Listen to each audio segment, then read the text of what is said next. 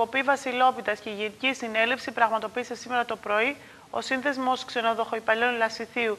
Κυρίαρχο θέμα της Γενικής Συνέλευσης ήταν η υπογραφή της τοπικής συλλογικής σύμβασης εργασίας. Εκτός από την κοπή της πίτας, ε, το σημαντικό επίσης είναι ότι ε, πραγματοποιείται και η Γενική Συνέλευση η ετήσια του Συνδέσμου Ξενοχοϊπαλλήλων, όπου εκεί ε, παίρνονται και κάποιες αποφάσεις.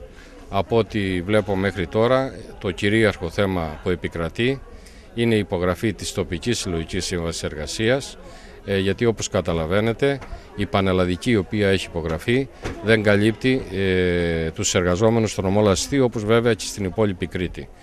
Ε, η απόφαση είναι ότι πάση θυσία θα πιέσουμε με όποιο τρόπο μπορούμε να υπογραφεί η Συλλογική Σύμβαση Εργασίας ε, σε συνεργασία βέβαια και με τα σωματεία της υπόλοιπης Κρήτης και τα εργατικά κέντρα. Έχουμε ήδη πάρει απόφαση γι' αυτό.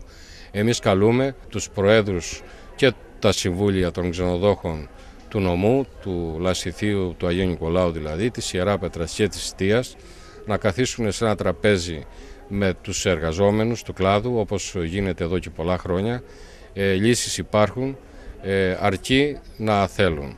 Ε, διαφαίνεται ότι προς το παρόν έχουν επικρατήσει κάποια ακραία στοιχεία στις τάξεις των ξενοδόχων, οι οποίοι είτε έτσι είτε αλλιώς, είτε είναι μέλη του συνδέσμου, είτε δεν είναι των ξενοδόχων, ε, ακολουθούν τη δικιά τους τακτική. Ε, με το να μας λένε λοιπόν ότι αν υπογραφεί η τοπική συλλογική σύμβαση κάποια μέλη τους θα φύγουν, θεωρώ ότι αυτό είναι το ελάχιστο με την έννοια ότι έτσι κι αλλιώς αυτοί είναι γνωστοί και εννοείται βέβαια ότι όσοι φύγουν από το διαγραφούν με, με θέληση δικιά τους από, το σύνδεσμο, από τους σύνδεσμους ξενοδόχων για να μην πληρώσουν 10 και 20 ευρώ παραπάνω γιατί για τέτοιο μιλάμε στους εργαζόμενους να ξέρετε ότι αυτοί ε, από τη μεριά τη δικιά μας τουλάχιστον θα είναι δαχτυλοδεχτούμενοι. Με ότι αυτό συνεπάγεται. Εμείς δεν απειλούμε και δεν εκβιάζουμε κανένα. Αλλά όμως, όπως είναι οι συγκυρίες, οι εργαζόμενοι είναι από κάτω, όχι μόνο στον κλάδο των τουριστικών, των ξέχω υπαλλήλων.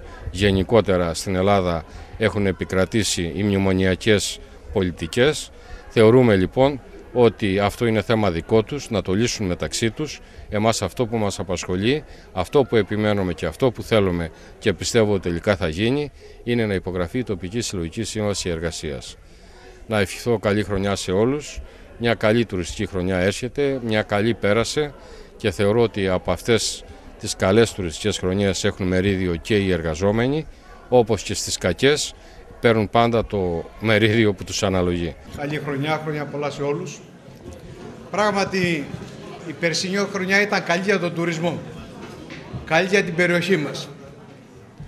Σε αυτή την τραγωδία που ζει η χώρα, σε αυτή την παρακμή που βιώνουμε, είναι ευχάριστο τουλάχιστον ότι ένας τομέας όπως τουρισμός πήγε καλά. Και φαίνεται πως και φέτος θα πάει καλά, ίσως και καλύτερα, αν δεν έχουμε ομιγέννητο κάτι έκτακτο. Εμείς ελπίζουμε και ζούμε τον τουρισμό.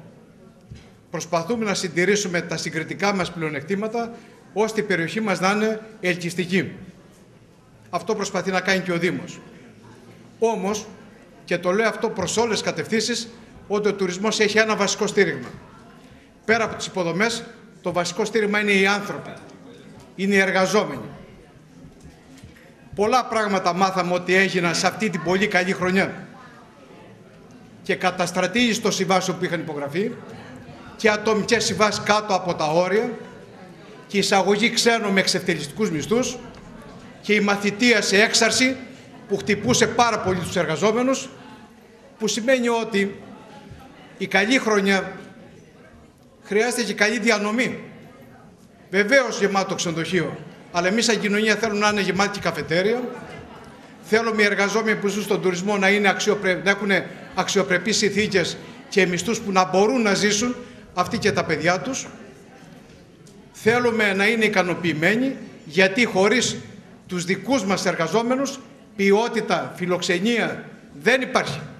Και νομίζω ότι πολλοί αυτοκτονούν όταν νομίζουν ότι με εξευτελιστικούς μισθούς ή με ξένους θα προσφέρουν ποιότητα στον τουρισμό. Εάν σήμερα δεν στηρίξουμε το βασικό άγαθο που έχουμε, τους εργαζόμενους, ο τουρισμός δεν πάει πουθενά. Πληροφορούμαστε επίσης ότι άλλα με ξενοδοχεία τιμούν τις συμβάσεις, άλλα ξενοδοχεία δεν το ατιμούν. Και υπάρχει και θέμα, αγαπητέ κύριε Προϊστάμενε, και θέμα ίσης μεταχείρισης και ανταγωνιστικότητας. Δεν μπορεί κάποιος να δει 300 ευρώ και άλλος 800 ευρώ και από την άλλη πλευρά να μπορούν να ανταγωνιστούν σε επίπεδο τιμών. Άρα λοιπόν εκεί είναι το θέμα των οργάνων της πολιτείας να εξασφαλίσουμε τουλάχιστον ίση μεταχείριση.